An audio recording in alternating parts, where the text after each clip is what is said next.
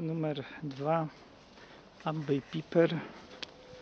Technicznie rozłożenie sprzętów mamy następujące. Wyłącznik główny prądu tu będzie wskazanie. Wyłącznik pompki wody podgrzewacz wody na gaz rozprowadzenie powietrza ciepłego po przyczepie ciepłe powietrze ogrzewane elektrycznie. Odpalanie piecyka gazowego. Ustawić na symbol pioruna. W dół przytrzymać 5 sekund. Tu w szczelinie powinien być widoczny płomień. Tu jest tak. Wyłącznik ciepłej wody w trybie elektrycznym tu się powinna świecić kontrolka jeżeli nam grzeje boiler. Podgrzewacza ciepłej wody jest tutaj pod kanapą tu jest boiler ciepłej wody gazowo-elektryczny. Tam w lewo mamy bezpiecznik główny przy samym w połowie tego w połowie tej skrzynki tu jest bezpiecznik główny 12V a tam na ścianie w głębi są bezpieczniki 12V niskiego napięcia. Po prawej stronie blisko szafy i tego grzejnika mamy bezpieczniki 220 i prostownik ładowania e, akumulatora. Mm, lodówka. Lodówkę odpalamy. Tutaj tryb elektryczny tu na maksa.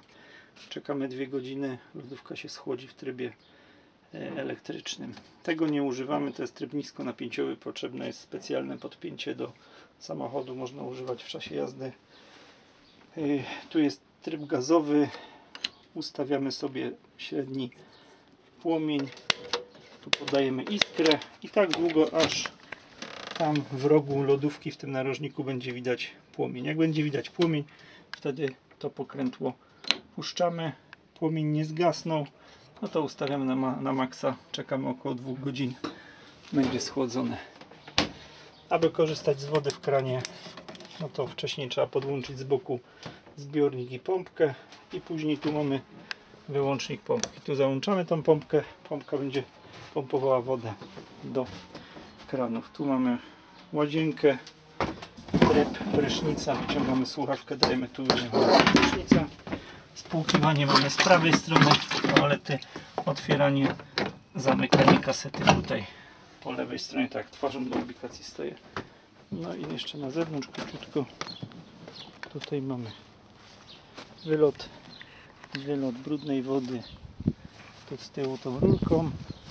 Tu jest kaseta WC żeby wyciągnąć kasetę. Tu naciskamy na dole klapkę kasetę wyciągamy na zewnątrz żeby kasetę opróżnić. Odkręcamy sobie tu ten korek. No i wylewamy do toalety albo do punktu zrzutu. Żeby szybko schodziło tu jest przycisk odpowietrzenia. Jak mamy dużo pełną kasetę to sobie tu naciskamy szybciej. Tam te nieczystości z kasety wylecą. Żeby uzyskać wodę do spłuczki to tutaj dolewamy wodę. Plus mogą być jakieś płyny, chemia. Może być płyn do mycia naczyń, może być specjalna chemia do toalet chemicznych i tutaj podłączamy pompkę w tym miejscu. Jak się pompkę podłącza. No i pompkę wkładamy tu do, do zbiornika z wodą. No i tam tak jak pokazywałem załączamy pompkę. Woda jest pompowana prosto do kranu. Tu jest schowek z akumulatorem i obok jest przyłącze do prądu na 220 w przedniej części tu za tą klapą mamy z lewej strony butle i koło zapasowe